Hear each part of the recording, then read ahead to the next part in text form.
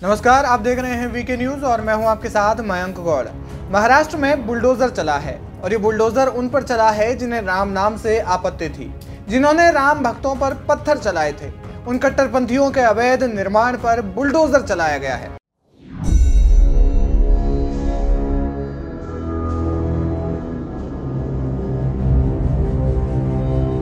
अयोध्या राम मंदिर में रामलला की प्राण प्रतिष्ठा से पहले मुंबई की मीरा रोड पर हिंसा हुई थी। रविवार रात साढ़े दस बजे के नया नगर से बाइक और अन्य गाड़ियों से राम नाम के नारे लगाते हुए लोग गुजर रहे थे। इसी दौरान दूसरे समुदाय के कुछ लोगों ने उन्हें रोका और वहाँ से जाने को कहा। बातचीत थोड़ी देर में झड़प में तब्दील हो गई। इस दौरान पथराव की घटना भी सामने आई।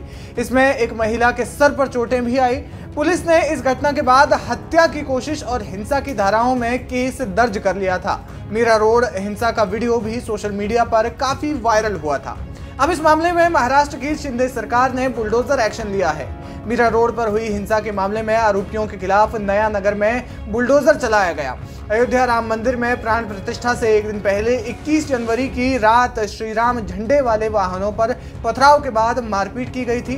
तब महाराष्ट्र के उप मुख्यमंत्री देवेंद्र फडणवीस ने इस मामले पर सीधे संज्ञान लिया था और तब ही फडणवीस ने चेतावनी दे डाली थी कि इलाके के अवैध निर्माण और अवैध कब्जे पर कार्रवाई होगी। उन्होंने हिंसा होने पर पुलिस आयुक्त मधुकर पांडे को भी तलब किया था और उनके संज्ञान के बाद पुलिस ने चार नाबालिगों सहित कुल सत्रह आरोपियों को हिरासत में लिया। राम नाम लेने पर जिन कट्टरपंथियों को एतराज़ था, अब महाराष्ट्र सरकार ने उनकी अक्ल ठिकाने लगा दी है। महाराष्ट्र सरकार के इस कड़े एक्शन पर आपकी क्या राय है, हमें कमेंट बॉक्स में जाकर ज़रूर बताएँ।